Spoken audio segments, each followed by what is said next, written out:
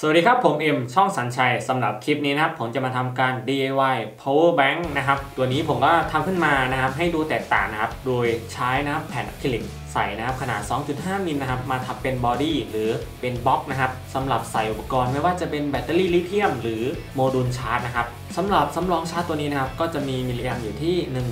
13,200 มิลลิแอมในขั้นตอนต่อไปนะครับ ก็ไปดูว่าอุปกรณ์ที่ใช้ในการนะครับ DIY หรือประกอบชุดนี้ขึ้นมามีอะไรบ้าง ไปดูครับ ในชุดนี้เองนะครับอุปกรณ์หลักๆนะครับก็จะมี 2 ชิ้นด้วยกันสำหรับตัวโมดูลชาร์จตัวนี้นะครับก็จะเป็นตัวโมดูลนะครับ5โวลต์2แอมป์นะครับหรือ5โวลต์2.4แอมป์นั่นเอง เป็นโมดูลแบบ DIY นั่นเอง ซึ่งเราสามารถนำโมดูลตัวนี้มาต่อใช้กับแบตเตอรี่ลิเธียม 3.7 โวลต์ได้เลยนะครับและเราต้องการความจุมากน้อยเพียงใดเนี่ยเราก็สามารถทำการขนานแบตเตอรี่ได้เลย ซึ่งก็จะมีพอร์ตนะครับชาร์จนะครับแบตเตอรี่อยู่ 3 พอร์ตด้วยกัน และนี่ก็คืออุปกรณ์ตัวแรกหรืออุปกรณ์ชิ้นแรกโอเคต่อมานะครับก็จะเป็นแบตเตอรี่ลิเธียมนะครับ 3.7 โวลต์ 3,300 มิลลิแอมป์ซึ่งผมจะใช้ทั้งหมด 4 ก้อนด้วยกัน ซึ่งขนานกันออกมาแล้วนะครับ ก็จะได้มิลลิแอมป์หรือความจุนะครับอยู่ที่ 13,200 มิลลิแอมป์ถ้าใครนะครับสนใจอุปกรณ์เหล่านี้นะครับ ผมก็ได้ทำการแปะลิงก์ไว้ด้านล่างคลิป ก็สามารถเข้าไปดูรายละเอียดหรือข้อมูลเพิ่มเติมได้ ในขั้นตอนต่อไปนะผมจะทำการออกแบบกล่องหรือบล็อกนะครับสำหรับใส่ ชุดอุปกรณ์เหล่านี้นะครับ โดยผมจะใช้แผ่นอะคริลิกนะครับขนาด 2.5 มิลนะครับ เป็นแผ่นอะคริลิกใส เพื่อมาทำเป็น body หรือบล็อกนะครับสำหรับใส่อุปกรณ์โมดูลชาร์จนะครับ แล้วก็แบตเตอรี่ไปดูกันเลยครับ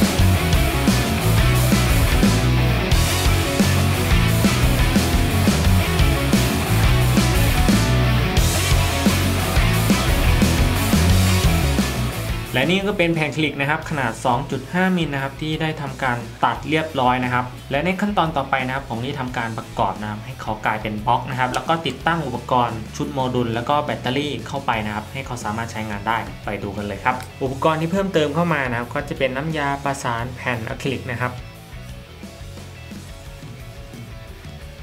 และนี่ก็จะเป็นเครื่อง spot welding ที่ผมได้ทำการ DIY ขึ้นมานะครับ ถ้าใครยังไม่ดูคลิป DIY เครื่อง spot welding ชุดนี้นะครับ ก็สามารถย้อนกลับไปดูคลิปก่อนหน้านี้ได้ และลวดนิกเกิลนะครับที่ผมจะใช้ประกอบนะครับ ก็จะใช้ลวดนะครับนิกเกิลขนาด 0.1 นะครับคูณ 5เป็นแบบนี้ครับ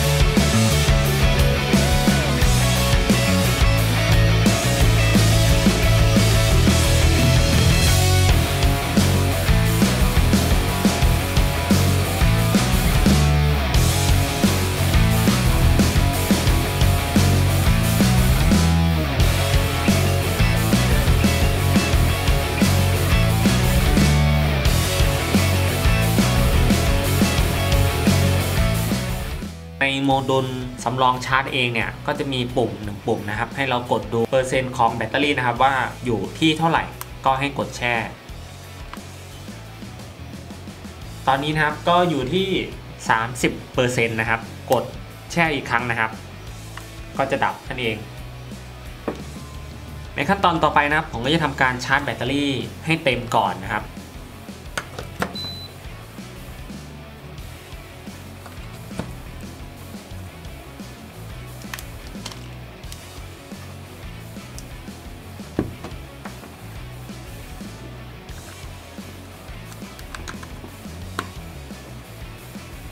ตอนนี้นะครับก็จะสังเกตว่ากระแสชาร์จนะครับอยู่ที่ 2 แอมป์ซึ่งได้ทำการนะครับชาร์จที่กระแส 2.0 แอมป์ซึ่งก็เป็นกระแสในการชาร์จที่รวดเร็วแล้วก็ดีมากนะครับ ชุดสำรองชาร์จเราสามารถชาร์จกระแสถึง 2 แอมป์เนี่ยในระยะเวลาในการชาร์จแบตเนี่ยก็จะสั้น แต่ถ้าเราชาร์จอยู่ที่ 1 แอมป์นะครับ มันก็อาจจะทำให้แบตเตอรี่ หรือสำรองชาร์จเราเนี่ยเต็มช้านั่นเอง แล้วตอนนี้นะผมก็จะทิ้งแบบนี้นะครับให้เต็มก่อนนะครับ หลังจากนั้นค่าเต็มแล้วก็มาดูกันอีกทีแล้วตอนนี้นะครับแบตเตอรี่นะครับก็ได้เต็มเรียบร้อยนะครับ แล้วก็มาดูนะครับที่จอแสดงผลนะครับ ก็ระบุว่าตอนนี้แบตเตอรี่เต็ม 100%แล้ว โอเค ก็ในขั้นตอนต่อไปนะครับ เราก็มาทำการทดลองนะครับ ใช้งานดูว่าชุด DIY นะครับสำรองชาร์จตัวนี้เขาจะสามารถใช้งานได้ดีหรือไม่นะครับ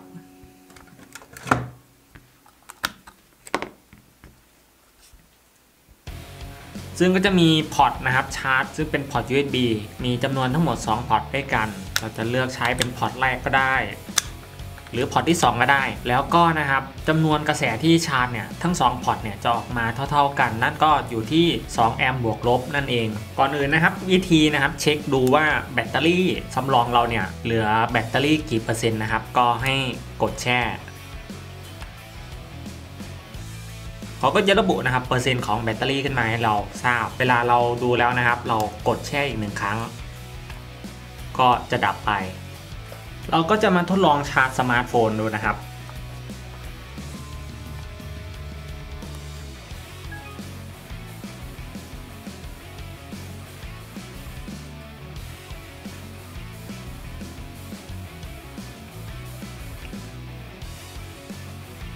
ก็สามารถชาร์จเข้าได้ดีนะครับ แล้วก็มาลองเปลี่ยนพอร์ต USB ดู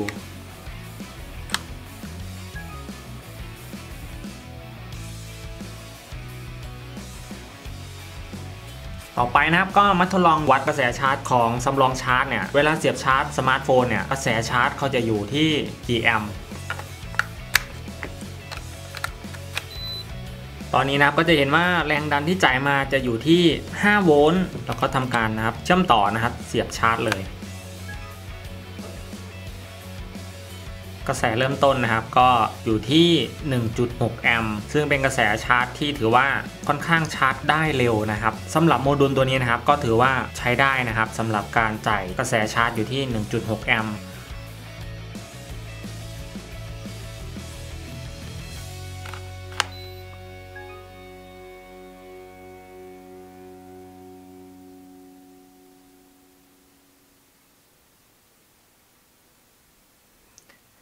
ก็จะสังเกตว่ากระแสชาร์จก็อยู่เท่าๆกันนะครับที่ 1.6 แอมป์ จากการคำนวณนะครับว่าสำรองชาร์จตัวนี้ 13,200มิลลิแอมป์เนี่ยจะสามารถชาร์จสมาร์ทโฟน เครื่องนี้ได้กี่รอบนะครับโทรศัพท์มือถือเครื่องนี้เองนะครับก็มีแบตเตอรี่ในตัวที่ 4,000มิลลิแอมป์ก็จากการคำนวณแล้วเนี่ยในสำรองชาร์จตัวนี้เวลาชาร์จเต็ม จะสามารถชาร์จสมาร์ทโฟน หรือโทรศัพท์มือถือเครื่องนี้ได้ประมาณ 2 รอบนั่นเองสำหรับ 13,200มิลลิแอม โอเคนะครับ เราก็มาดูว่ามีข้อเสียอย่างไรนะครับ แล้วก็ข้อดีนะครับสำหรับชุดนี้ที่ผมได้ทำขึ้นมา1นงนะครับสำหรับข้อเสียนะครับของ ชุดสำรองชาร์จที่ผมได้ DIY ขึ้นมา คือเขาไม่สามารถนะครับทนต่อการตกกระแทกได้ ซึ่งในเคสกรอบที่ผมทำขึ้นมาเนี่ยทำขึ้นมาจากแผ่นอะคริลิกใส ซึ่งถ้าเราทำตกนะครับก็อาจจะทำให้แผ่นอะคริลิกเนี่ยแตกได้ แล้วก็นะครับแผ่นอะคริลิกเนี่ยค่อนข้างที่จะเป็นรอยง่ายนั่นเองก็จะมีประมาณนี้นะครับไม่ทนต่อการตกกระแทก แล้วก็เป็นรอยง่ายสำหรับข้อดีนะครับสำหรับชุด DIY สำรองชาร์จตัวนี้ 1นะครับแบตเตอรี่มีจำนวนเต็มจริงนะครับ ตามที่ระบุนะครับ นั่นก็คือ 13,200มิลลิแอมป์ถ้าเราไปซื้อสำรองชาร์จทั่วไปนะครับ ที่ราคาถูกเนี่ยเราอาจจะได้มิลลิแอมไม่เต็มจริงนะครับ แล้วก็อายุการใช้งานของแบตเตอรี่นะครับลิเธียมชุดนี้นะครับก็อยู่ที่ 500 รอบนะครับ ซึ่งเราสามารถนะครับชาร์จได้ 500 ครั้งนั่นเอง แล้วก็จุดเด่นนะครับก็จะเป็น สำรองชาร์จที่แตกต่างนะครับ เราสามารถมองทะลุทะลวงได้ นั่นก็คือเราสามารถมองเห็นวงจรภายในได้ ก็จะมีประมาณนี้นะครับสำหรับชุดสำรองชาร์จที่ผมได้ทำการประกอบขึ้นมาเองนะครับ สำหรับใครนะครับที่สนใจชุดอุปกรณ์ที่ใช้ในการประกอบชุดสำรองชาร์จนี้นะครับ ผมก็ได้ทำการแปะลิงก์ไว้ด้านล่างคลิป ก็สามารถเข้าไปดูรายละเอียดหรือข้อมูลเพิ่มเติมได้ เป็นยังไงบ้างครับสำหรับวิธีการประกอบและ DIY ชุดสำรองชาร์จนะครับ